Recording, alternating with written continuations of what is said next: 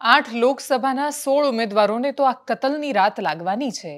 દરેકે દરેક લોકસભા બેઠક પર ઉમેદવારોએ ખૂબ તૈયારીઓ કરી છે અને બે સવા બે મહિના સુધી જે વિશાળ જનસંમેલનો સભા આ બધું કર્યું, એને વોટમાં કેટલું પરિવર્તન કરાવી શકે છે અને પછી એ મતને પોતાના વિજય તરફ કેટલો લઈ જઈ શકાય છે એના પર ઉમેદવારો આજે ઊંઘવાના નથી. આવતીકાલે સવારે સાત વાગ્યાથી મતદાન શરૂ થવાનું છે. દેશની ચૂંટણી એ દેશનો સૌથી મોટો ઉત્સવ છે. ઉત્સવની જેમ આપણે એને ઉજવવાનો છે, પરંતુ છેલ્લે છેલ્લે બે મહિનાની પાછળ નજર કરીને એકવાર તો સમજવું પડશે કે આખી ચૂંટણી થઈ છે એના પર. નમસ્કાર, આપની સાથે હું દેવાંશી.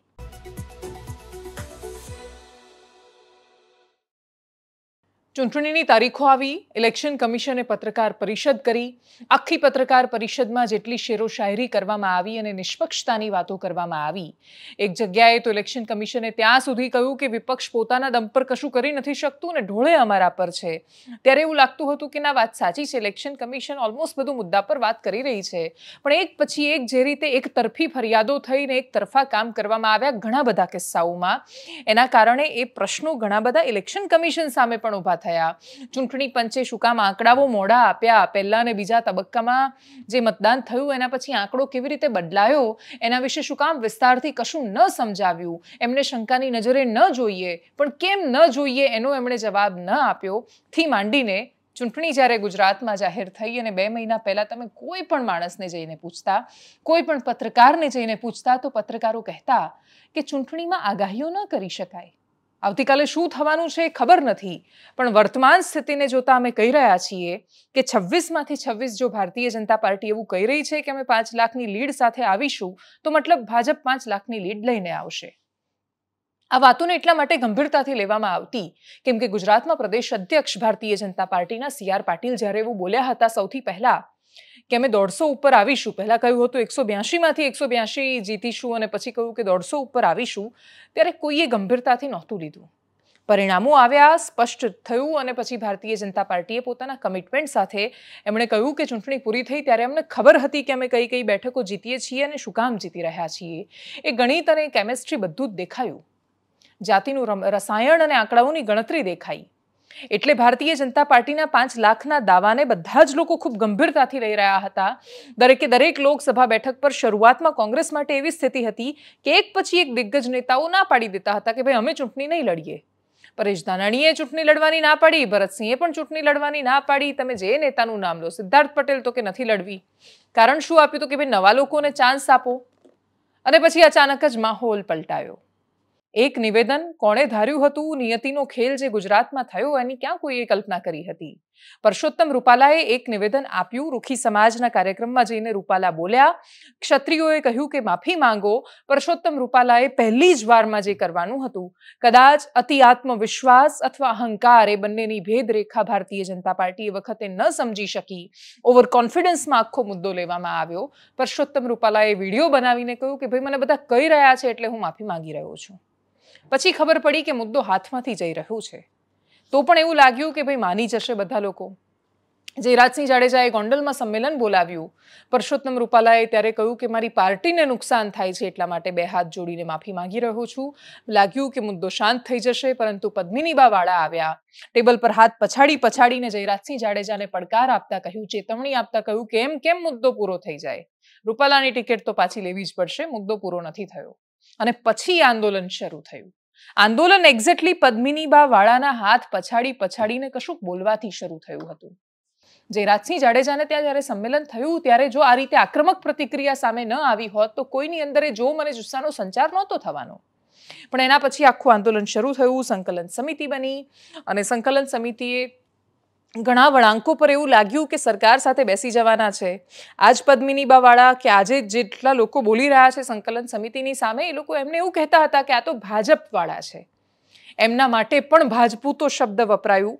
સંકલન સમિતિની જ્યારે ગોતા ખાતે મિટિંગ હતી અને પત્રકાર પરિષદ થવાની હતી, એની પહેલાં જ્યારે પદ્મિની બાવાળા પહોંચ્યા કે પછી પ્રજ્ઞાબા ઝાલા પહોંચ્યા કે બાકીની જ્યારે મહિલાઓ પહોંચી રહી હતી, ત્યારે એ લોકોની સાથે જેટલા અમારા પત્રકારે સંવાદ કર્યા, એની અંદર પણ એ લોકોએ કહી રહ્યા હતા કે સંકલન સમિતિની અંદર કેટલાક ભાજપૂતો બેઠા છે જે સરકાર સાથે સાંઠગાંઠ ધરાવે છે અને ગમે ત્યારે ખોળામાં બેસી જવાના મૂડમાં છે, એવું કશું જ થયું નહીં.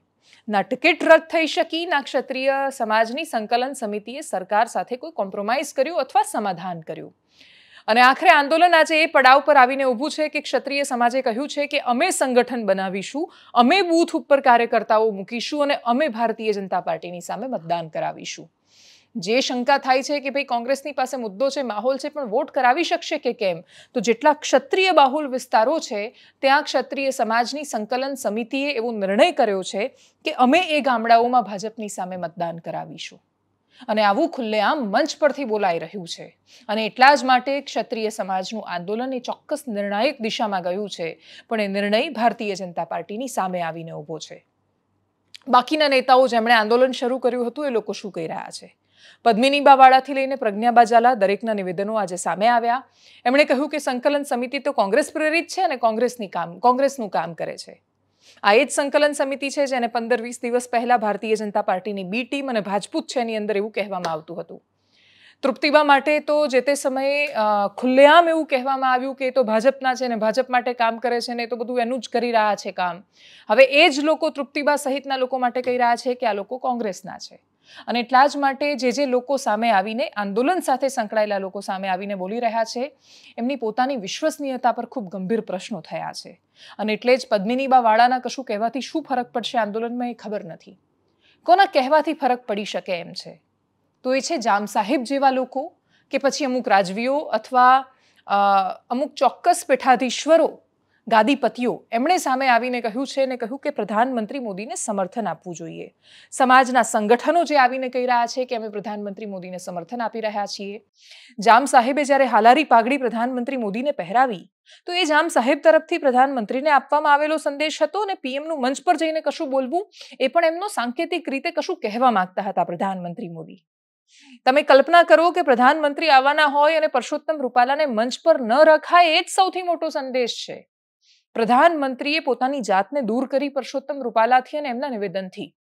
એમણે ક્ષત્રિય સમાજને ખોટું લાગે કે કશું ખોટું થાય એવો કશો જ પ્રયાસ નથી કર્યો. અને એટલે જ પ્રધાનમંત્રી મોદીએ એ સંદેશ આપ્યો કે પરસોત્તમ રૂપાલા જે બોલ્યા છે એની સાથે અમે સહમત નથી.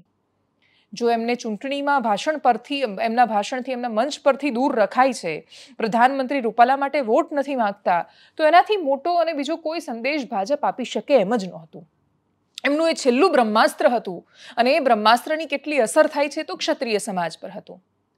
પણ ક્ષત્રિય સમાજની સંકલન સમિતિ સહિત સમાજનો એક ખૂબ મોટો હિસ્સો જેણે એ વાતને ન સ્વીકારી. જામનગરમાં બીજા જ દિવસે ક્ષત્રિય સમાજે સંમેલન કર્યું અને એ સંમેલનના દ્રશ્યો એટલા વિશાળ હતા કે જેનાથી એક સ્પષ્ટ સંદેશ ગયો કે ક્ષત્રિયો સમાધાન કરવા માટે તૈયાર નથી. પણ એ દ્રશ્યો પૂરતી વાત સીમિત નહોતી. એની અંદર જામ સાહેબ માટે પણ એવું બધું કહેવાયું જે કદાચ ક્ષત્રિયોને પણ શોભા નહોતું દેતું. જે લોકો બોલી રહ્યા હતા, એમને પણ એ શોભા નહોતું દેતું કે તમે રાજનૈતિક રીતે જો કોઈની સાથે સહમત નથી અથવા તમને એવું લાગી રહ્યું છે કે એ સમાજની સાથે નથી, તો જેમ તમે કોંગ્રેસની જોડે ઊભા છો, એમ કોઈ છે જામ સાહેબ જો પ્રધાનમંત્રીની સાથે ઊભા રહેવા માંગે છે, તો એમને અધિકાર છે એવું કરવાનો. પરંતુ છતાંય જામ સાહેબ માટે જે રીતે બેફામ બોલાયું, એ જોતા એમનો પણ પ્રત્યુત્તર આવવો અપેક્ષિત હતો. એમણે પણ જવાબ આપ્યો અને એમણે કહ્યું કે હજારોની મેદનીની વચ્ચે સાવ ગામડાથી આવેલા માણસોને આત્મવિશ્વાસ સાથે બોલતા જોઈએ તો એમને અભિનંદન. પરંતુ હાલારી પાઘડી માટે હું એ જવાબ ચોક્કસ આપીશ કે પ્રધાનમંત્રી મોદીએ ક્યારેય આવી વાતનું સમર્થન કર્યું નથી. ઉપરથી એમણે દેશની સ્ત્રીઓનું અને બેટીઓનું, દીકરીઓનું રક્ષણ કર્યું છે. એમની મદદ કરી છે અને એટલા જ માટે જેમ સ્વાતંત્ર્ય, વાણી સ્વાતંત્ર્ય તમને છે, એમ બીજાને પણ હોઈ શકે છે. કોઈના બોલવાથી કોઈ ખરાબ નથી થઈ જતું એટલે રૂપાલાના કહેવાથી કોઈની અસ્મિતા નથી જતી રહેવાની.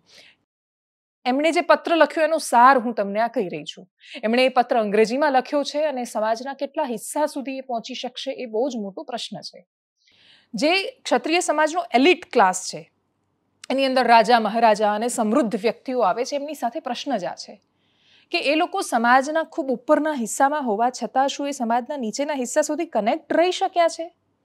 એ કનેક્શન તૂટ્યાનું સૌથી મોટું પરિણામ એ છે કે લોકો જ્યારે ભેગા થયા અને જામ સાહેબ માટે બોલાયું, ત્યારે કોઈને કશું ખોટું જ ન લાગ્યું. જે સામે ઓડિયન્સ હતી, એમાંથી કોઈ વાંધો ન ઉપાડ્યો કે તમારે એટલીસ્ટ જામ સાહેબ માટે તો આ ન બોલવું જોઈએ. એમનું જેટલું સન્માન વિદેશોમાં છે, એટલું સન્માન ત્યાં સામે બેઠેલા દર્શકો રાખી શકતા હતા. પણ કમનસીબે આપણે ત્યાં કહેવાય છે ને કે ઘર આંગણે બહુ કિંમત ઘણીવાર ઘણા લોકો નથી રાખતા. તો જામ સાહેબ હાલારી પાઘડીથી માંડીને ઘણી બધી રીતે થયું. આંદોલનનું રાજનીતિકરણ તો સો ટકા થયું છે. પણ ભાજપીકરણ થયું તો એમાં શરૂઆતમાં એવું દેખાયું કે ત્યાં જઈ રહ્યું છે. ત્યારે જ એમ કોઈકને વાંધો હતો. ખાસો એક હિસ્સો એવો હતો ને જે કહી રહ્યો હતો કે ભાઈ તમે ભાજપના ખોળામાં શું કામ બેસી રહ્યા છો? એવી જ રીતે ને એટલી જ સ્વાભાવિક રીતે એક હિસ્સો એ પૂછવો જોઈએ કે તમે કોંગ્રેસના ખોળામાં કેમ બેઠા છો? પણ એ ન પૂછાયું. એટલા માટે કેમ કે ક્ષત્રિય સમાજ જીદ લઈને બેઠો હતો. કે કંઈ પણ થાય અમે પરસોત્તમ રૂપાલાની ટિકિટ તમારે નથી જ એમને આપવાની, કાપવાની જ છે અને નહીં કરો તો અમે મતથી જવાબ આપીશું. અને જો ત્યાં નહીં હટાવો તો અમારો એક એક ઉમેદવાર પરસોત્તમ રૂપાલા બની રહેવાનો છે. થયું પણ એવું જ. હવે દરેક જગ્યાએ આ મુદ્દો શું કામ ગંભીર થતો દેખાયો? શું કામ ન્યૂઝપેપરમાં આ મુદ્દો છવાયેલો રહ્યો? કેમ કે આજના દિવસે પણ રાજપૂત સંકલન સમિતિએ જ્યારે પત્રકાર પરિષદ કરી, ત્યારે એ તો બહુ સ્પષ્ટ છે કે કોંગ્રેસ તરફી મતદાન કરાવવાના છીએ. આણંદ લોકસભામાં કે સુરેન્દ્રનગર લોકસભામાં કે જામનગર લોકસભા? આપણે ત્રણ ઉદાહરણ લઈ લઈએ. આ ત્રણ લોકસભા બેઠકોમાં પણ જો ક્ષત્રિય સમાજો ગામ પ્રમાણે એક્ટિવ થાય છે ગામ પ્રમાણે એમના છોકરાઓ નીકળીને ઘરે ઘરેથી બહાર કાઢીને બધાને વોટિંગ કરાવે છે, તો તમે કલ્પના કરી શકો છો આ બેઠક ઉપર પરિણામ શું હશે? ભારતીય જનતા પાર્ટીની ફેવરમાં તો એ નહીં જ હોય. ખાલી લીડ કાપવાનો સવાલ નથી ના બે હજાર ઓગણીસ જેવો દેશમાં માહોલ છે. દેશની પહેલી પસંદ નરેન્દ્ર મોદી છે કે નહીં, એમાં અત્યારે એની કોઈ આગાહી નથી કરવાની, પણ અમે જેટલું જોઈ રહ્યા છીએ, એ પ્રકારે તો એમાં કોઈ સંદેહ પણ નથી. પરંતુ એ બધાની વચ્ચે ગુજરાતમાં તો આખી ચૂંટણી એના પર લડાઈ જ નથી રહી. ચૂંટણી જ્યારે એ મુદ્દા પર લડાતી હોય કે કોંગ્રેસ વર્સિસ ભાજપ છે, ચૂંટણી જ્યારે રાહુલ ગાંધી વર્સિસ નરેન્દ્ર મોદી પર લડાતી હોય ત્યારે બાકીના સવાલો પેદા થાય છે. ચૂંટણી અલગ મુદ્દાઓ પર લડાઈ રહી છે અને એ મુદ્દા લોકસભા વાઇઝ બદલાયા છે. બનાસકાંઠામાં અલગ મુદ્દા પર ચૂંટણી થઈ રહી છે, ભરૂચમાં મુદ્દો અલગ છે, તો જામનગર, સુરેન્દ્રનગર કે પછી આણંદમાં મુદ્દો અલગ છે. અને લોકસભા પ્રમાણે જ્યારે આટલી નીચે સુધી ચૂંટણી પ્રસરી જાય, ત્યારે દરેક વખતે તમે મુદ્દાઓને નેરેટિવથી કંટ્રોલમાં નથી લઈ શકતા. એવું જ બીજું ઉદાહરણ એ સામે આવ્યું કે કેવી રીતે કંટ્રોલમાં નથી લઈ શકતા. ન્યૂઝપેપરમાં એક જાહેર અપીલ, સમાચારના સ્વરૂપમાં છપાઈ અને એ પણ તમે સમજો, મતદાનના આગલા દિવસે છાપામાં આ સમાચાર કે અપીલ કેવી રીતે આવી? શું ચૂંટણી પંચ પાસેથી પરવાનગી લેવામાં આવી હતી આ છાપતા પહેલા? રાજકોટમાં જ્યારે જાતિના આધાર પર પત્રિકાઓ વહેંચવામાં આવી અને લેઉઆ વર્સિસ કડવા કરવાની કોશિશ કરવામાં આવી, ત્યારે ચૂંટણી પંચથી માંડીને આખું તંત્ર એક્શનમાં આવ્યું ને સીસીટીવી શોધી શોધીને શોધી કાઢ્યું. ખોળી ખોળીને શોધી કાઢ્યું કે કોણ એ બધી પત્રિકાઓ ફેંકવાને નાખવા ગયું હતું. અહીંયા તો આજના મુખ્ય સમાચાર પત્રોમાં જાહેર અપીલ કરીને છાપ્યું છે. અને શું લખવામાં આવ્યું છે? અખિલ ગુજરાત રાજપૂત સમાજ દ્વારા માનનીય નરેન્દ્ર મોદી સાહેબને ત્રીજી વખત પ્રધાનમંત્રી બનાવવા માટે સમર્થન જાહેર કરીએ છીએ. આવો આપણે સૌ આપણા રાષ્ટ્રનાયક વિકાસ પુરુષ નરેન્દ્ર મોદીનું સમર્થન કરીએ. અને પછી નીચે લખ્યું છે કે મતદાન કરવા જઈએ ત્યારે યુક્રેન રશિયાના સમયે આપણા છોકરાઓને કોણ પાછા લાવ્યા હતા? માં મહાકાળીના મંદિર પર ધજા ફરકાવી છે. કાશી વિશ્વનાથ ઉજ્જૈનમાં મહાકાલ અને કેદારનાથમાં કાયા પલટ થઈ છે. સૂર્યવંશી ભગવાન શ્રીરામનું ભવ્ય મંદિર બન્યું છે. કિસાન સન્માન નિધિ જેવી યોજનાઓ છે. એર સ્ટ્રાઇક થઈ છે. સર્જિકલ સ્ટ્રાઇક થઈ છે. એ રીતે વિશેષ લખવામાં આવ્યું. પછી જ્ઞાતિ બંધુઓને અપીલ કરવામાં આવી. એના પછી લખ્યું કે કેટલાક તત્વો છે કે જે આ નુકસાન કરી રહ્યા છે. ઘણા બધા લોકો પર સાંસ્કૃતિક પુનરુત્થાન ને બાકીની ઘણી બધી પુનરુત્થાનને ઘણી બધી વાતો કરવામાં આવી. સીધી રીતે એક ચોક્કસ જાતિને કરવામાં આવેલી અપીલ હતી. રાજપૂત સમાજ કરી રહ્યો હતો. ઇલેક્શન કમિશન પાસે આનો જવાબ નહીં હોય કે ખરેખર એમણે એ જાહેરાત ત્યાં બતાવીને પછી છાપી છે કે કેમ? પરંતુ સંકલન સમિતિ સામે આવી એમણે પત્રકાર પરિષદ કરી છે. સૌથી પહેલા એમને સાંભળીએ. ભારત દેશની લોકશાહીનું તંત્ર, લોકશાહીનો ચૂંટણી અત્યારે ચાલી રહી છે. આવતીકાલે ગુજરાતમાં મતદાન છે. એના એક દિવસ પહેલાં જ આજના ન્યૂઝપેપરમાં એક જાહેરાત આવી છે. સમા વીરસ્ય ભૂષણમ એમ કરીને એક જાહેરાત આવી છે. એક બહુ એમ કે આચારસંહિતાનો સીધો ભંગ છે. એના માટે અમે કલેક્ટર સાહેબને રજૂઆત કરવા આવ્યા હતા. કે ભાઈ પીપલ્સ રિપ્રેઝેન્ટેશન એક્ટનો પણ ભંગ છે. અને આ રીતે આચારસંહિતાના ધજિયા ઉડાય અને એ કોના ઇશારે થઈ રહ્યું છે એ પણ તપાસ ચૂંટણી પંચ કરે એવી અમારી વિનંતી છે. આનાથી જેમાં શબ્દો લખ્યા છે, એ બહુ જ ખરાબ શબ્દોનો ઉપયોગ થયો છે. સામાન્ય એક એક પત્રિકા પાટીદાર સમાજના યુવાનો એ બહાર પાડી તો બે દિવસમાં એમાં પગલાં લેવાના. તો આમાં પણ સરકારી તંત્ર કોને આ જાહેરાત પરથી કરી છે નિયમ હોવા છતાં એમાં કોઈ પણ જાતનો ઉલ્લેખ નથી, સરનામું નથી, મોબાઈલ નંબર નથી. એની પૂર્વ મંજૂરી પણ લીધી છે કેમ? એ પણ શંકાનો વિષય છે. એટલા માટે સંપૂર્ણપણે આચારસંહિતાનો ભંગ થઈ રહ્યો છે. તો એમાં તાત્કાલિક અસરથી પગલાં લેવા જોઈએ. આમાં છત્રી સમાજમાં બહુ આનો રોષ છે, જે રીતે ભાષાનો ઉપયોગ થઈ રહ્યો છે એ રીતે. અને કોના ઇશારે આ બધી પત્રિકાઓ બહાર પડી છે, આમાં લખ્યું પણ નથી. પણ એક પક્ષને મદદરૂપ થવા માટે આ પત્રિકા બહાર પડ્યું હોય એવું સ્પષ્ટપણે દેખાઈ આવે છે. તો એનો ખર્ચ પણ કોણ આપવાનું છે? એ જાતનું પણ કોઈ ઉલ્લેખ નથી. એટલે બહુ જ ખોટી કાર્યવાહી થઈ રહી છે. જ્યારે અત્યાર સુધી ક્ષત્રિય સમાજની સામાજિક લડત, ક્ષત્રિય અસ્મિતા આંદોલન એક સિસ્ટમેટિક ઢબથી શાંતિપૂર્વક રીતે ચાલી રહ્યું છે. ત્યારે આ પ્રકારના એક અશાંતિ ડોળવાનો પ્રયત્ન થઈ રહ્યો હોય તો સરકાર અને ચૂંટણી પંચ આના માટે તાત્કાલિક કાર્યવાહી કરે. આજે જાહેર અપીલ મેં જે વાંચી એમાં તો નીચે નામ પણ લખેલા છે. કાનભા ગોહિલ, જસાભાઈ બારડ, નારણભાઈ સગર અને ડીડી રાજપૂત તરફથી આ કરવામાં આવી તો તરત જ છાપામાં આજની જ તારીખે સિંહોર તાલુકા ક્ષત્રિય કારડિયા રાજપૂત યુવા સંઘ અને પછી નીચે સમગ્ર ક્ષત્રિય કારડિયા રાજપૂત સમાજ વીબી મોરી પ્રમુખ છે એના એમના તરફથી લખવામાં આવ્યું છે કે કેટલાક લેભાગુ તત્વો છે પોતાનો રાજકીય સ્વાર્થ સાધવા માટે આખા સમાજના નામે સમર્થન જાહેર કરી રહ્યા છે. બાકી અમારું કોઈ સમર્થન નથી. અને એટલા જ માટે વાત બહુ સ્પષ્ટ થાય છે કે સમાજનો કોઈ એક વ્યક્તિ આવીને એવું કહેશે કે અમે કહીએ, એમ સમાજ ચાલે, એમ કોઈ સમાજો ચાલતા નથી. એ વાતને વર્ષો વીતી ગયા. એક જમાનો હતો કે ગામમાં બે ચાર માણસો આગેવાન હોય, એ આગેવાનો એમ આખું ગામ જાય, એ આગેવાનો એમ આખો સમાજ જાય. કોંગ્રેસને બહુ ફાયદો રહેતો. સરકાર એમની આગેવાનોને સાથે લઈ લેવાના, કોઈને કોઈ આગેવાન હોય એની સાથે સાંઠગાંઠ કરી દેવાની, આખો સમાજ તમારો થઈ જાય. ભારતીય જનતા પાર્ટીની સરકાર આવી, સમાજના આગેવાનોને એમણે ખતમ કર્યા અને આખા સમાજને સ્વતંત્ર રીતે વિચારતા કર્યો. પણ ફરી એકવાર આજે એ જ એમની સામે આવીને ઊભું છે કે ક્ષત્રિય સમાજમાં કોઈ એવો ચહેરો નથી કે જે એમની સામે જે એમની સાથે આવીને ઊભો રહે અને આખો સમાજ માની જાય. સમાજ તો જામ સાહેબનું નથી માનતો એટલે પછી આગળ કશું કહેવાનું આવતું જ નથી. અને જામ સાહેબ માટે આવું બોલાય છે એટલે તમારે સમજવાનું કે આ વિષય પર જે લોકો બોલ્યા એ બધા ગયા. જે લોકો ચૂપ રહ્યા છે એ લોકોને ઉપરથી એવું લાગતું હશે કે જોયું, કોઈએ ગમે તેટલી અમારી ટીકાઓ કરી પણ અમે ચૂપ રહ્યા, એમાં ફાયદો તો થયો કે એટલીસ્ટ ગાળો ના ખાવી પડી. અને એટલા જ માટે ઘણા બધા લોકો છે કે જે સ્પષ્ટ રીતે સામે આવીને ઊભા છે. ગોંડલમાં જયરાજસિંહ જાડેજાની સામે જે રીતે બોલવામાં આવ્યું, થી લઈને જામ સાહેબ માટે જે બોલવામાં આવ્યું, બતાવે છે કે ક્ષત્રિય સમાજનો એક મોટો હિસ્સો છે કે જે આંદોલનની સાથે છે. જેને એવું લાગ્યું છે કે ખરેખર અમારી અસ્મિતા પર ઘા કરવામાં આવ્યો છે. ખાસ તો સ્ત્રીઓ મેદાને છે, છોકરીઓ ભાષણ આપી રહી છે. આંદોલનને રોકવા માટે જ્યારે રાજપૂત સંકલન સમિતિ અહીંયા પહેલી વાર મિટિંગ થઈ ભારતીય જનતા પાર્ટીના નેતાઓ સાથે, તો ભૂપેન્દ્રસિંહ ચુડાસમાથી માંડીને પ્રદીપસિંહ જાડેજાથી માંડીને કિરીટસિંહ રાણાથી માંડી કેસરીદેવસિંહ ઝાલા, જયરાજસિંહ જાડેજા, તમે લાંબી લાંબી યાદી કરો. હકુબા જાડેજા, રીવાબા જાડેજા, કેટલા લોકો છે? કોઈએ જો ખરેખર એટલીસ્ટ પોતાના ક્ષેત્રમાં આંદોલનોને રોકવાનો પ્રયાસ કર્યો હોત, એકદમ શરૂઆતના સમયમાં, તો સ્થિતિ આ ના આવી હોત કદાચ. પણ બધું જો અને તોની વચ્ચે છે જે લોકો પ્રયાસો કરી રહ્યા છે, લોકો કહે છે કે ભાઈ અમારે સમાજનું દુશ્મન થવું પડે એમ છે. સંકલન સમિતિ એમને સિફતથી બાજુ પર મૂકી રહી છે. અને આખા આંદોલનમાં, જેમ પ્રજ્ઞાબા ઝાલા, પદ્મિનીબા વાળા બધા જ લોકો સામે આવીને જેમને કોંગ્રેસના એજન્ટ કહી રહ્યા છે, એ જ લોકોને પહેલાં ભાજપના એજન્ટ કહ્યા હતા. એવા તૃપ્તિભાઈ સંમેલનમાં અપીલ કરી કે જેનું લોહી ક્ષત્રિયનું હોય એનો મત ભારતીય જનતા પાર્ટીની સામે નિર્ણાયક રીતે જવો જોઈએ, એટલે કે કોંગ્રેસના પક્ષમાં જવો જોઈએ. શું કહ્યું હતું તૃપ્તિબાઈએ? સાંભળીએ એમને. વેચાણા નથી. તો જે આગલી રાતનું આપણે સૌ જાણીએ છીએ કે જે વહીવટો થતા હોય છે, હું ચોખ્ખા શબ્દોમાં કહું કે ચવાણુંના ભાવના પડીકાઓ જે વેચાય ને એની સામું મારો ક્ષત્રિય સમાજ અથવા અઢારે સમાજનો એક પુરુષ પણ નહીં જોવે અને એ હું એક બેન પાસેથી, આપની પાસેથી એક, એ પ્રોમિસ લેવડાવું છું. બે હજાર ઓગણીસની ચૂંટણીમાં આગલા દિવસે ઉમેદવારો ખાસા નિશ્ચિંત હતા ભારતીય જનતા પાર્ટીના. કોંગ્રેસના ઉમેદવારોને પણ ખબર હતી કે ભાઈ લીડ ઓછી લાભ આવે એવો ટ્રાય કરવાનું છે. જીતવાની મોટા ભાગના લોકોને અપેક્ષા નહોતી.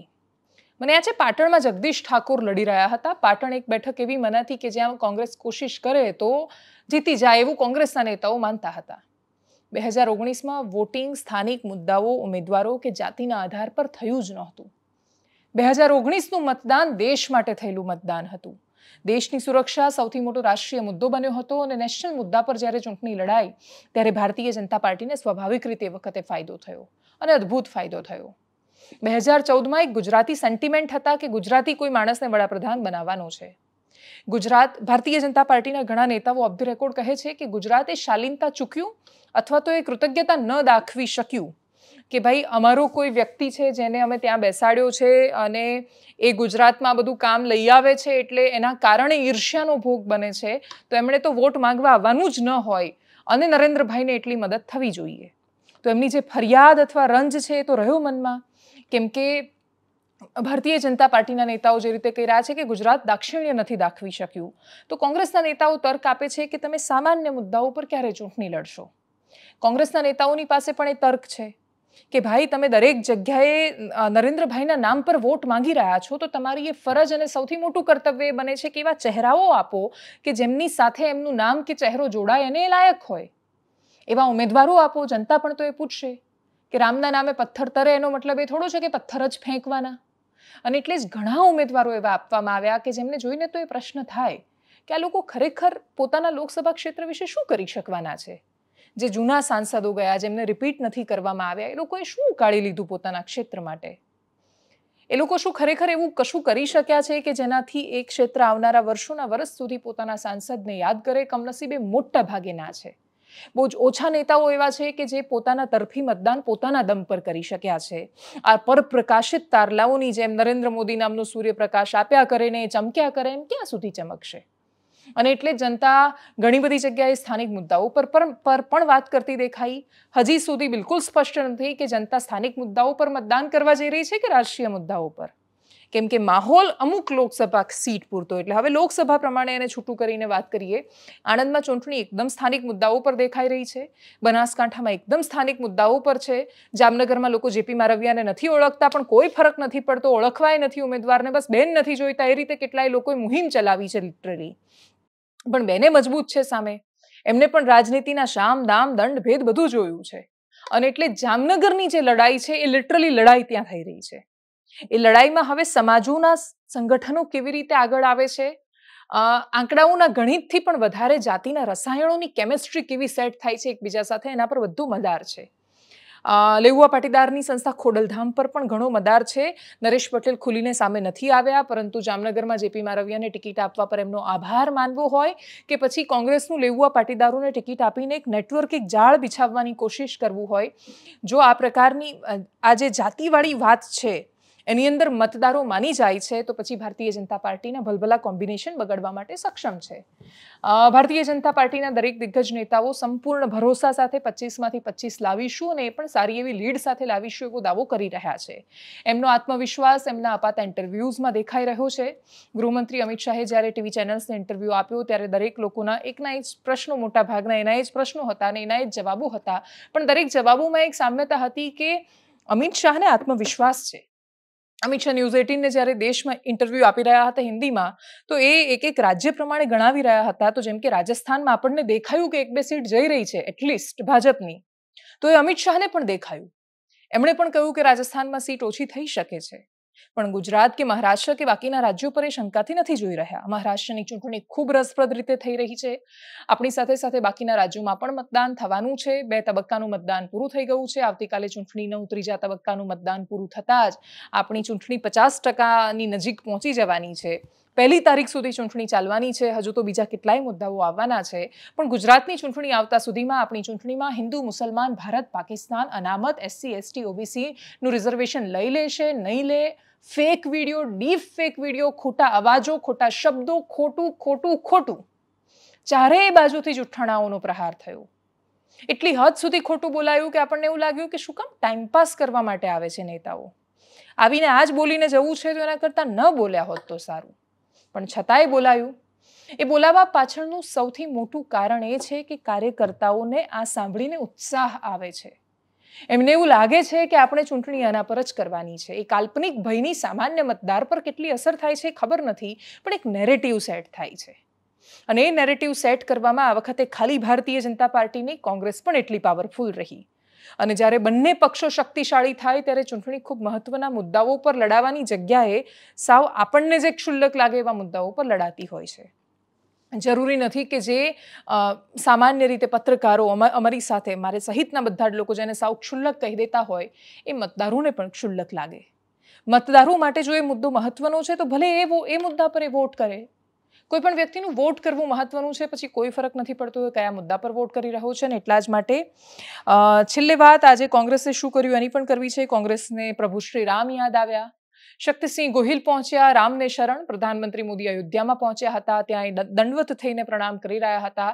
તો શક્તિસિંહ ગોહિલે કહ્યું, અમે તો બસો વર્ષ જૂના એ રામજી મંદિરમાં આવીને ઊભા છીએ કે જે મંદિર પૂરું થયું પછી એની પ્રાણ પ્રતિષ્ઠા કરવામાં આવી હતી. અમે શ્રદ્ધામાં માનીએ છીએ, પણ એના નામ પર રાજનીતિને નથી માનતા. હકીકત એ છે કે ચૂંટણીના આગલા દિવસે રામ મંદિર જવું એ પણ તો રાજનીતિનો જ હિસ્સો છે. કોઈ એક હિસ્સાને ખુશ કરી રહ્યું છે તો તમે બીજા હિસ- હિસ્સાને ખુશ કરી રહ્યા છો. અલ્ટિમેટલી લોકોને ખુશ કરવાની આ બધી કવાયતો છે. સતત ફોન આવી રહ્યા છે. ફોન આવે છે, તમે ઉપાડો છો, એના પછી રામજીનું એક ભજન વાગે છે ને તમે મૂકી દો છો. પછી કશું જ કહેતા નથી કે કોને વોટ આપજો.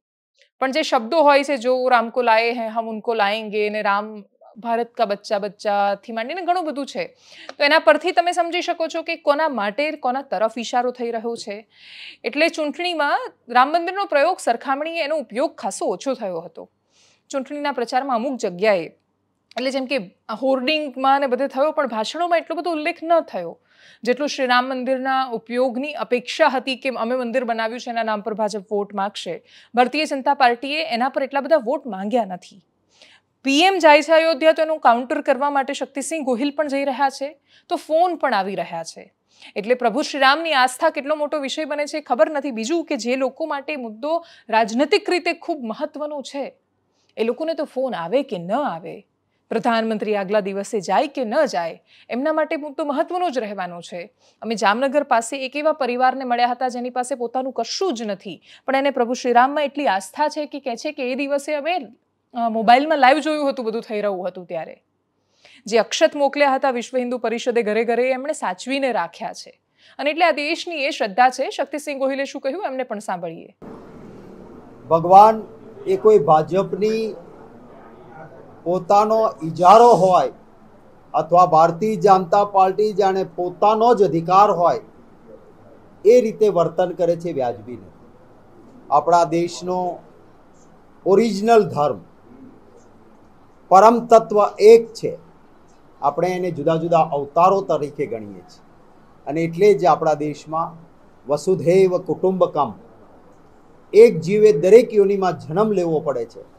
એવું પણ આપણા સનાતન ધર્મ ઓરિજિનલ આપણો જે મઝહબ છે આ દેશ, એ ધર્મમાં એ વાત છે.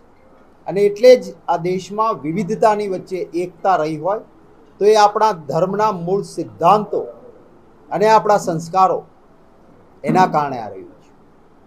ત્યારે આજે અહીંયા આ પુરાતન મંદિરમાં ભગવાન શ્રી રામના ચરણોમાં માથું ટેકવવા આવ્યો છું.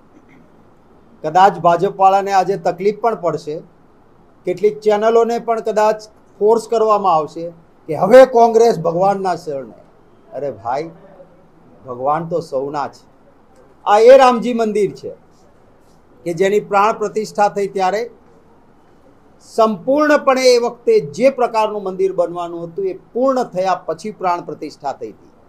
અધૂરા મંદિરમાં નહોતી થઈ. આ બસો વર્ષ દરમિયાન શંકરાચાર્યજી મહારાજના પણ અહીં આશીર્વાદ રહ્યા. અને આ કોઈ રાજકીય પક્ષની ઇવેન્ટ નહીં, આ ભગવાન શ્રી રામનું મંદિર એ સંપૂર્ણપણે શ્રદ્ધાના કેન્દ્ર તરીકે પ્રાણ પ્રતિષ્ઠા થઈ હતી એટલે મને લાગ્યું દર્શને આવવું છે. હું ભૂતકાળમાં પણ આવ્યો છું. ત્યાં જે આજે ફરી આવતીકાલે મતદાન છે ત્યારે. ભગવાન શ્રી રામ મોંઘવારી, બેરોજગારી જેવા મુદ્દાઓ ચૂંટણી પ્રચારમાંથી લિટરલી ગાયબ હતા આ વખતે. અને ખાસા દસ વર્ષ તો થઈ ગયા, એના પર આપણે ચૂંટણી લડ્યા નથી. બે હજાર ચૌદમાં ચૂંટણી ચોક્કસથી મોંઘવારી, બેરોજગારી જેવા મુદ્દાઓ પર લડાઈ હતી. એ વખતે તો તમે સમજો ચૂંટણી પ્રચારના મુખ્ય નારા શું હતા? બહોત હુઈ, મહેંગાઈ કી માર, અબ કી બાર મોદી સરકાર પેટ્રોલ, ડીઝલની માર અબ કી બાર મોદી સરકારને બાકીનું ઘણું બધું હતું. આ વખતે ચૂંટણી એના પર નથી લડાઈ, વિપક્ષ એવું સમજ્યું છે કે જનતા માટે કદાચ આ મહત્વનો મુદ્દો નથી, તો જનતા માટે એમણે મહત્વના મુદ્દા તરીકે એસસી, એસટી, ઓબીસીના રિઝર્વેશનને લાઇનમાં મૂક્યો, તો પછી ભારતીય જનતા પાર્ટી એનું કાઉન્ટર કરતાં કહ્યું કે ભાઈ ઓબીસીમાંથી આ તો મુસલમાનને આપી દેવા માંગે છે. કર્ણાટકનો એમણે રેફરન્સ આપ્યો. હકીકત એ છે, તર્ક એની, એનું સૌથી મોટું તથ્ય એ છે કે કર્ણાટકમાં મુસ્લિમ રિઝર્વેશન જે સ્ટેટ આપે છે, રાજ્ય આપે છે, એ રિઝર્વેશન એચડી દેવગોડાની સરકારમાં કર્ણાટકમાં લાવવામાં આવ્યું હતું. અને એચડી દેવગોડા સાથે ભારતીય જનતા પાર્ટીનું અત્યારે હાલ પણ કર્ણાટકમાં ગઠબંધન છે. કર્ણાટકમાં સ્થિતિ એટલે પણ પલટાઈ છે, કેમ કે જેડીએસ સાથે ગઠબંધન, જેડીએસ અલગ નથી લડી રહ્યું, જેડીએસની સાથે ભાજપનું ગઠબંધન છે. દરેક રાજ્યમાં હવે સીધો મુકાબલો થયો છે, ગઠબંધન થવાને કારણે. અને એટલે જ એનડીએ વર્સેસ ઇન્ડિયાની આ લડાઈમાં કોણ જીતે છે ખબર નથી. આવતીકાલે તમે મતદાન કરવા જશો તો દેશનું લોકતંત્ર જીતવાનું છે એટલી ખબર છે. અને એટલે જ સવારે સાતથી સાંજે છ, સવારે સાત વાગ્યાથી અમે સતત તમારી સામે હાજર હોઈશું. કયા મુદ્દાઓ પર ચૂંટણી થઈ, શું થયું, કેટલું વોટિંગ કયું વોટિંગ કઈ બાજુ જઈ રહ્યું છે, કોઈની પાસે ચાર આંખો નથી કે ઈવીએમમાં જઈને જોઈ આવે કે કઈ બાજુ જઈ રહ્યું છે, પણ તોય છતાંય ચર્ચાઓ કરીએ છીએ. જે જોઈએ છીએ એનું આકલન કરીએ છીએ અને એ આકલનો સાચા જ પડે કે ધાર્યું હોય, રીતે જ થાય એવી કોઈ જ ગેરંટી નથી હોતી. જનતાના માનસની અંદર જઈને કોઈ શોધી શકે એવો એક્સરે શોધાયો નથી.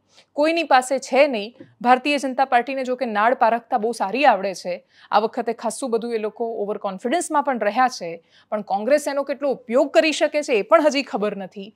એટલે ચોથી જૂને બધી ખબર પડવાની છે. પણ છતાંય આવતીકાલે સાત વાગ્યાથી સાત તારીખે સાત વાગ્યાથી સાંજે સાત સુધી સતત લાઈવ અમે તમારી સાથે હોઈશું. અમારી ચેનલ પર આખી આ ચર્ચાને ખાસ જોજો. અને અમારા વિડીયોઝને શેર કરજો, ચેનલને સબસ્ક્રાઇબ કરજો અને બધું કરો ન કરો, મતદાન કરવા અવશ્ય જજો. કેમ કે ભાજપ જીતશે કે કોંગ્રેસ, જો તમે વોટ નહીં કરો તો લોકતંત્રને મારવામાં તમે સહયોગ આપી રહ્યા છો પોતાનો. અને એટલે જ લોકતંત્રને જીવાડવું છે ને જીતાડવું છે તો પોતાના મતાધિકારનો ઉપયોગ કરવાનું ના ભૂલતા. નમસ્કાર.